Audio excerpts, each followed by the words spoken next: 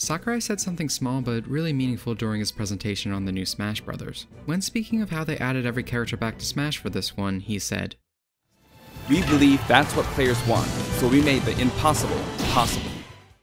I don't think that's where this statement ends. If you watched my previous video on Smash, you know I went into Sakurai's design philosophies, and how he really makes the games for himself strictly in how he envisions them, to the point of pushing back against the idea of people playing them any differently. To briefly go over that, one example is the reason you can't use the dual stick attachment in Kid Icarus Uprising. This is because Sakurai didn't envision it being played as a twin stick shooter, even if many people believe it would play better that way. He wanted it played only exactly how he imagined it. This is only one of many examples again. This mindset is how tripping became a thing in Brawl, why story mode was axed after Subspace, and it's why initially, heavily requested features like a stage hazard toggle were left out. But here we see a lot of things that Sakurai seems to not really agree with for how he wants Smash to be seen, but a lot of this is what the fans want. Now, don't get me wrong, I'm sure some of you still won't be happy. However, in my opinion, this game is about pleasing everyone. Unless you're someone who just refuses to play anything but Melee, or someone on the other end who hates anything that just even slightly looks like Melee, I imagine most of you will be happy with this. I mean, let's start with the obvious. Every character is back, especially when it comes to getting third party license. I believe Sakurai and his team put in a lot of work on all fronts here. Particularly, the three new characters are some of the most requested, one of them being probably the most requested in franchise history. He's here!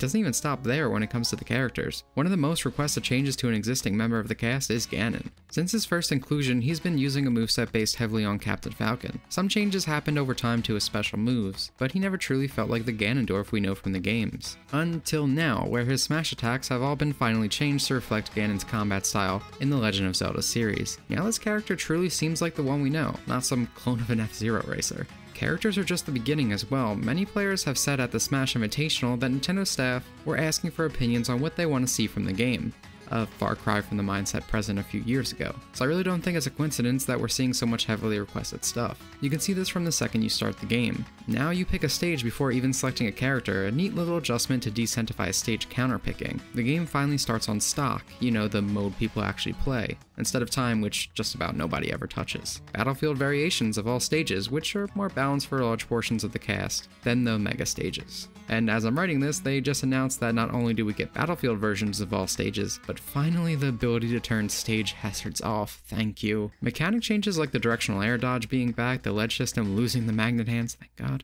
dodge rolls being nerfed, the rage mechanics seemingly being removed or heavily toned down, and quite possibly landing lag being reduced on a variety of aerials. Lastly, what I think shows clearly that this game is actually designed for everyone is how the game is balanced differently depending on if you're playing one-on-one or not. This allows competitive matches to be sped up, which directly addresses the biggest complaint about Smash 4's competitive scene. That matches go on too long, and even as a casual player, I felt this way myself. In fact, I think several of the changes done to mechanics were made to address this and the overly defensive nature of the game, something I've seen both camps of people ask for. Then there's also a slew of new UI elements just simply improving quality of life for every player, as well as a bunch of other neat little touches they added, improving the experience. Now this is just all we currently know though. I mean, the game was announced just two days ago. With this design philosophy being present in the game, we might get other heavily fan requested features, such as a new story mode or at least an adventure mode, instead of something like Smash Tour. But I think what's important to take away here is these changes address different groups, not just the casual players and not just the competitive. This is really taking everyone into account and finding a happy middle ground for those situations when both sides want different things.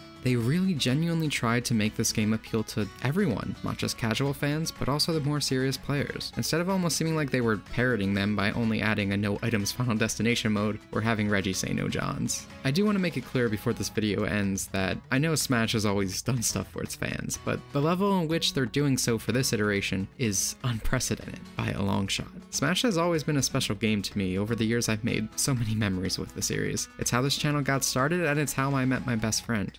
I know after my last video on Smash 4, a lot of viewers assumed I'm just a melee elitist who couldn't possibly like a new Smash game, but if you actually take the time to watch the video instead of just reading the title, you know I just want an experience that takes everyone into account. I really don't want Melee 2. In fact, what I want is seemingly exactly what this game is trying to be. So for this one, thanks Sakurai.